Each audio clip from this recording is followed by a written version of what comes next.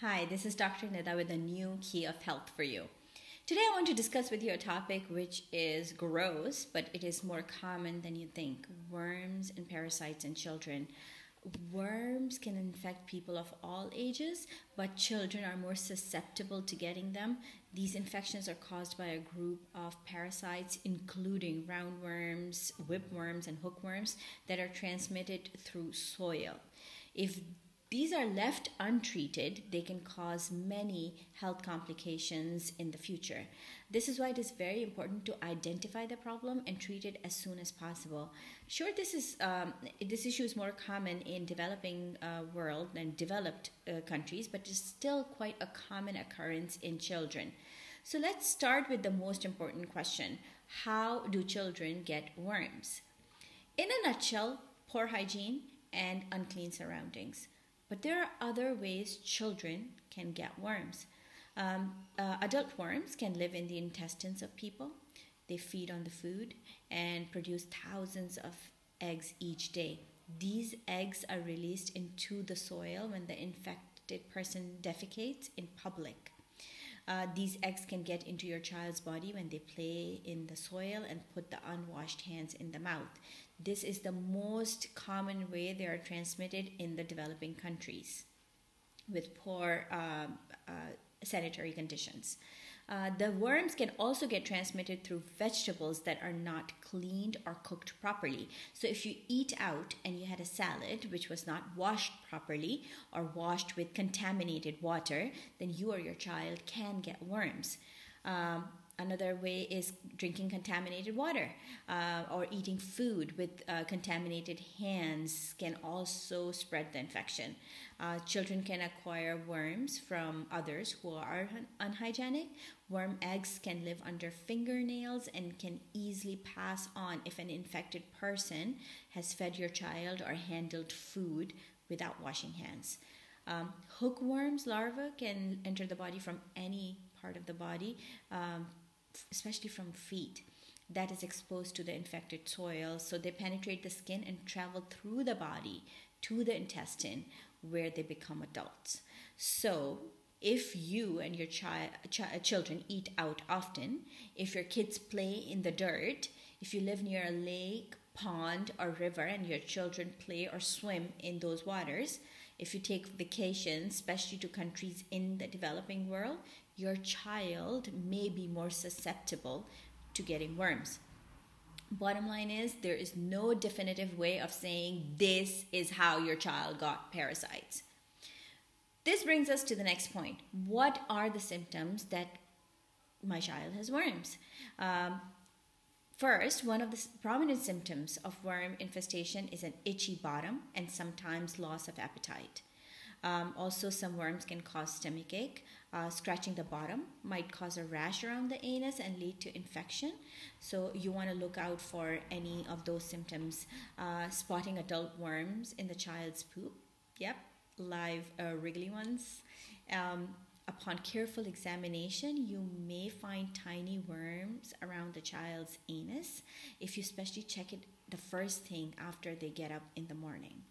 Uh, decreased physical performance, a usually active child who is no longer sh- showing interest in playing or running around and shows signs of fatigue, um, you would definitely want to consider worms in this case.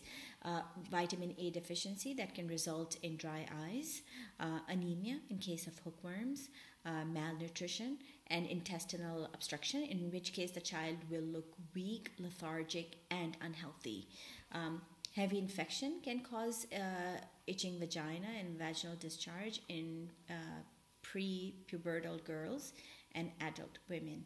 So uh, if you have those symptoms, you definitely want to also consider uh, worms in this case.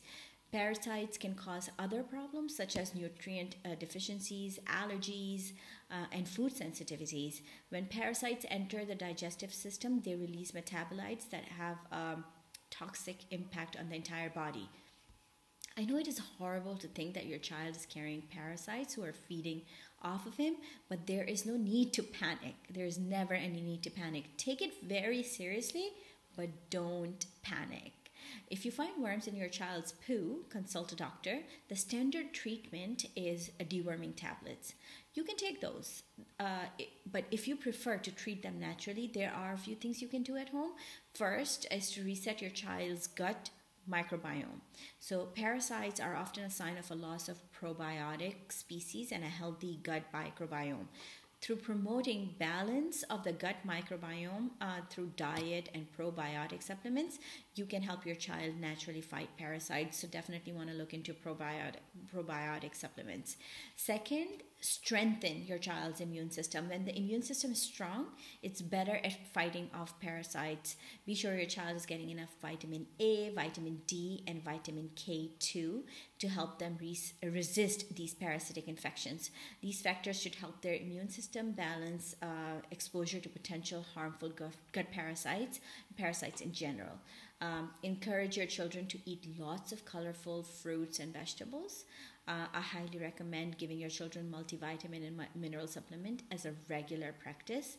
Um, keep sugar out of their diets as, uh, since parasites thrive on sugar.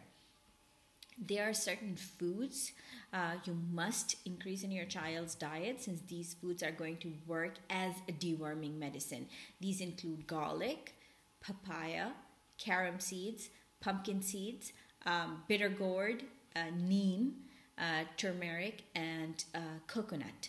I'm going to um, give you the benefits of these foods in this particular case in the in the about section of this video so make sure you check it out um, there are a couple of things you want to be careful about if your child is a picky eater and you know they will not cooperate with these natural remedies. Don't waste time and give them the deworming tablets instead. Um, if you administer natural remedies and don't see any difference within two months at most, take them to the doctor and get the tablets. It's because it's always better to be safe than sorry. Take precautions when you know you and your children might be vulnerable to getting worms. Like I said, prevention is better than cure. Uh, you definitely want to, before you travel to on a vacation to a developing country, you definitely want to start taking foods and supplements which will help strengthen your immune system. And take caution while you're there, like covering your feet or not uh, being around contaminated soil or, or water. This is it for this video. I hope I have answered most of your concerns. Uh, I'll see you next time. Make sure to like and share the video and subscribe to my channel. Take care. Goodbye.